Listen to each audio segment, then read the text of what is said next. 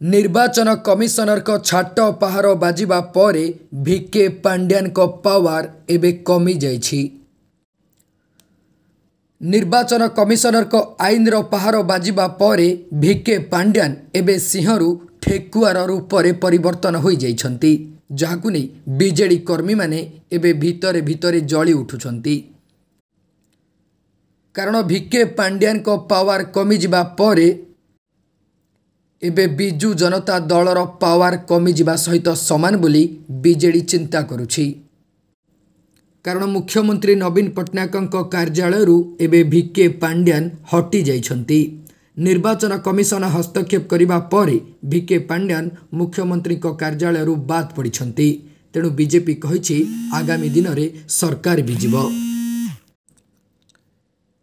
ତେବେ ନିର୍ବାଚନ କମିଶନରଙ୍କ ହସ୍ତକ୍ଷେପ ପରେ ଭିକେ ପାଣ୍ଡିଆନ ହଟିଥିବା କହିଛି ରାଜ୍ୟ ବିଜେପି।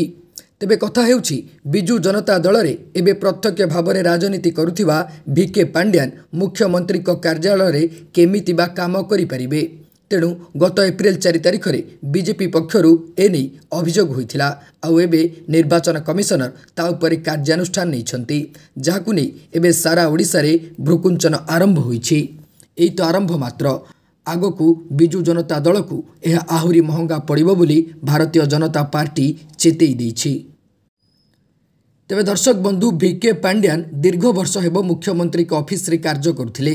ହେଲେ ଏବେ ସେ ଆଉ ମୁଖ୍ୟମନ୍ତ୍ରୀଙ୍କ ଅଫିସରେ ଜଣେ ଅଫିସର ଭାବରେ ନ ରହି ଚାକିରି ଛାଡ଼ି ରାଜନୀତିରେ ଯୋଗ ଦେଇଛନ୍ତି। ହେଲେ ଫାଇଭ୍ ଟିରେ ତାଙ୍କୁ ମୁଖ୍ୟମନ୍ତ୍ରୀ ଚେୟାରମ୍ୟାନ୍ କରିଛନ୍ତି। କିନ୍ତୁ ରାଜନୀତିରେ ଯୋଗ ଦେବା ପରେ ସେ କେମିତି ମୁଖ୍ୟମନ୍ତ୍ରୀଙ୍କ ସରକାରୀ ଅଫିସରେ କାମ କରିପାରିବେ ସେ ନେଇ ସି ଭିଜିଲ୍ ଆପ୍ରେ ଅଭିଯୋଗ କରାଯାଇଥିଲା। ଆଉ ଏହାପରେ ପାଣ୍ଡିଆନଙ୍କୁ ହଟାଇ ଦିଆଯାଇଛି ବୋଲି ବିଜେପି କହିଛି।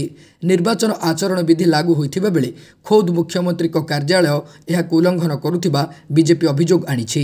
କେବଳ ସେତିକି ନୁହେଁ ରାଜ୍ୟରେ ଫାଇଭ୍ ଟି ନାଁରେ ମହାଦୁର୍ନୀତି ହୋଇଛି ଗଣତନ୍ତ୍ରର ହତ୍ୟା ହୋଇଛି ଓଡ଼ିଆ ସ୍ୱାଭିମାନର ମଧ୍ୟ ହତ୍ୟା କରାଯାଇଛି ବୋଲି ବିଜେପି କହିଛି ଯାହା ଏବେ ବିଜେଡି ପ୍ରତି ଅଡ଼ୁଆ ପରିସ୍ଥିତି ସୃଷ୍ଟି କରିଛି। ତେବେ ଭିକେ ପାଣ୍ଡିଆନଙ୍କର ପାୱାର ଏବେ କମ୍ ହେବା ପରେ ଆଗକୁ ସେ କେମିତି ପ୍ରଦର୍ଶନ କରୁଛନ୍ତି ଆଉ ବିଜୁ ଜନତା ଦଳକୁ ସେ କେମିତି ପରିଚାଳନା କରୁଛନ୍ତି ତାହା ଦେଖିବା ପାଇଁ ବାକି ରହିଲା। Bureau report Times of Kalinga